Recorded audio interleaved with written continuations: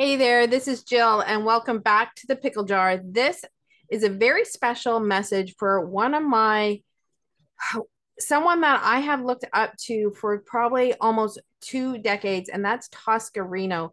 And before I get to the special message I have for her, I want to tell you guys a little bit about her and why I think it's so important that you check her out. So Tosca Reno is, um, she's Canadian and she has founded the Eat Clean Diet.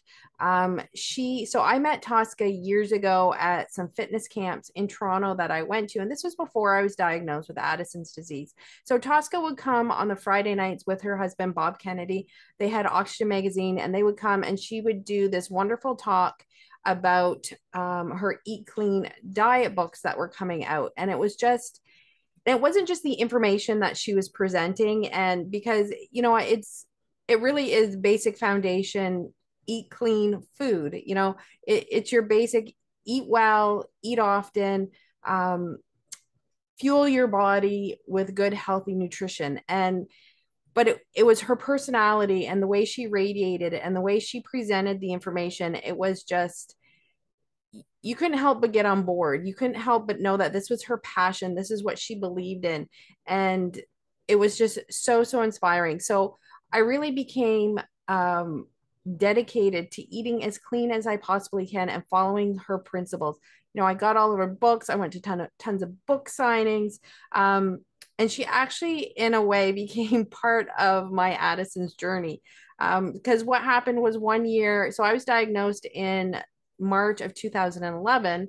The fall of 2010, we attended one of these fitness camps, and Tosca was there the Friday night. So before we did the, she did her talk, and we kind of had our seminar with our with her. We we worked out, and um, she was actually behind me in line, and we had to do like an army crawl across the gym floor.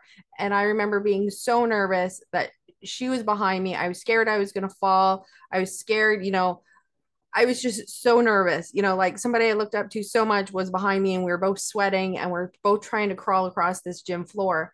Um, later that weekend, I noticed on my left wrist I had a bruise, and I just took it as, oh, that was from when I did the army crawl with Tosca that I must have hit my wrist. And there's just a very small, maybe the size of a pencil head on my on my wrist. So I just kind of ignored it and come after Christmas, just before New Year's that year, I noticed that that little dot was still there, that dark spot was still there.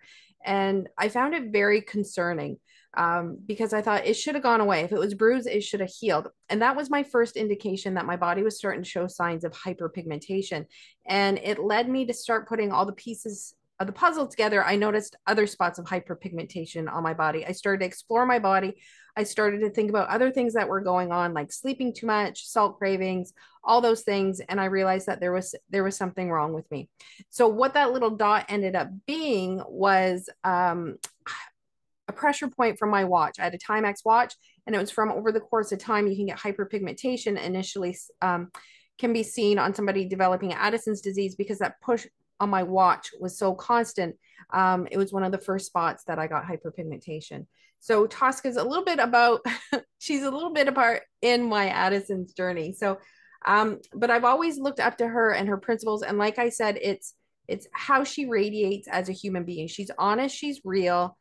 She is just absolutely incredible. And I have reached out to her this week in hopes that she can come onto the podcast and share some of her knowledge. Um, because, like I said, the information's out there, but we need a means to get it. And I'm a big believer the way I eat helps me manage my illness. It is the biggest drug we have. I believe it saved me during my diagnosis because I was so in tune to my body. I was eating as closely as I could to the eat clean diet, which again, let me just tell you, it's just eating clean. It's it's whole foods, it's protein to it's healthy carbohydrates, it's vegetables, it's all the things that we know we're supposed to be doing spread throughout the day so we have lots of energy. And it's absolutely incredible. So I want you to check out toscareno.com. Um, and I'm just a big believer of options. Okay. We all need to have choices. And I think this is a fabulous choice if you're looking for guidance um, in terms of nutrition and all that stuff because she is so amazing. So, um, and yeah, and we always go with what speaks to us. And I know she will speak to you. I know her honesty and her realness and her matter of fact, no judgment, no nothing will speak to you. So this is a message for Tosca. Um, how much I appreciate you and everything that you have done in my life. Um, what you've instilled in me by just being you is absolutely incredible. So I would love it if you could come on the podcast and share with us a little bit of your time, a little bit about who you are, the eat clean diet, and how it can change people's lives and how important it is for people, especially people with chronic illnesses, to fuel our bodies properly so that we can heal, so that we can manage our illness and we can have the best quality of life. So, thank you so much. I will put Tosca's um, website, it's toscareno.com, in the show notes. So, please check her out. And until next time, please be well, my pickles.